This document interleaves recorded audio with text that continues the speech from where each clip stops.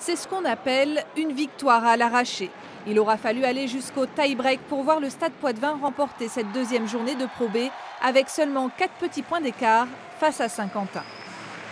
Je suis vraiment déçu de la façon dont on a joué euh, sur pas mal de passages.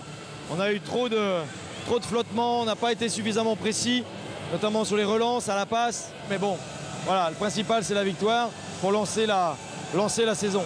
Une semaine après la défaite à Arnes, le SPVB avait à cœur de se ressaisir encore plus pour ce premier match à la maison.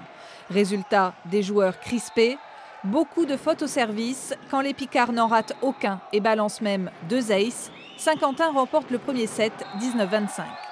Le duel des promus sera âpre, la deuxième manche profite au poids de vin grâce notamment à Ngapet et Demirovic. L'équipe de Saint-Quentin reprend l'avantage à la fin du troisième set, plus solide dans les moments clés, en dépit des efforts des stadistes pour offrir un jeu offensif varié. De 7 à 1 pour les Picards. Ça fait de bien de, gagner un point ici, de faire un très correct match, spécialement après première défaite qu'on était un petit peu juste. Le SPVB recolle au score en décrochant la quatrième manche. Le tie-break se déroulera dans une salle surchauffée.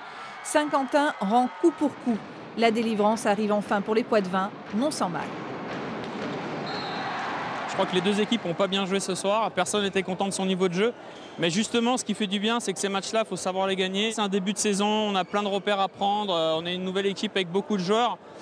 Bon, c'est vrai qu'on a fait une très belle prépa, on se trouvait très bien, tout se passait très bien. Les vrais matchs, c'est pas la même chose. Poitiers est actuellement sixième au classement. Prochain match à l'extérieur cette fois, face à Orange, ce sera mercredi.